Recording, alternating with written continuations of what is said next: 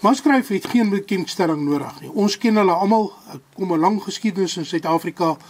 Maar Frikkie de Plooy, die eienaar van die Maskryf fabriek op Ermelo, het besluit dat hy gaan 'n nuwe geweer ontwerp. Nou ongelukkig met al hierdie nonsens van COVID het dinge so 'n bietjie deurmekaar geloop en toe het hy besluit dat hy gaan van sy ou aksies gebruik, maar hy gaan swaar gewigte maak. Nou ons het vandag hierso twee swaar gewigte. Eerstens hierdie bou van 'n 500 Jeffries en 'n 375 Holland en Holland. Nou ek gaan nie uitbrei oor die maskryf nie. Ons ken hulle almal. Al wat ek gaan vertel is so bietjie meer van die staal wat gebruik word. Dit word ingevoer, maar die lope word in Ermelo gemaak. Die korrel word in Ermelo gemaak. Die versier word daar gemaak. Die sneller is 'n voorsneller wat verstelbaar is en natuurlik dan die gewone aksie die WZ24 aksie wat hulle ombou. Nou hulle verander hom so 'n bietjie natuurlik om die dik patroon van die 500 te vat. Dan praat ons oor die kolf. Die kolf is 'n deploy ontwerp. Die hy so gemaak dat die geweer as jy 'n groot skiet, dan druk hy meer in jou skouer in en hy skiet nie te veel voorop nie. Dit is al alles goed en wonderlik.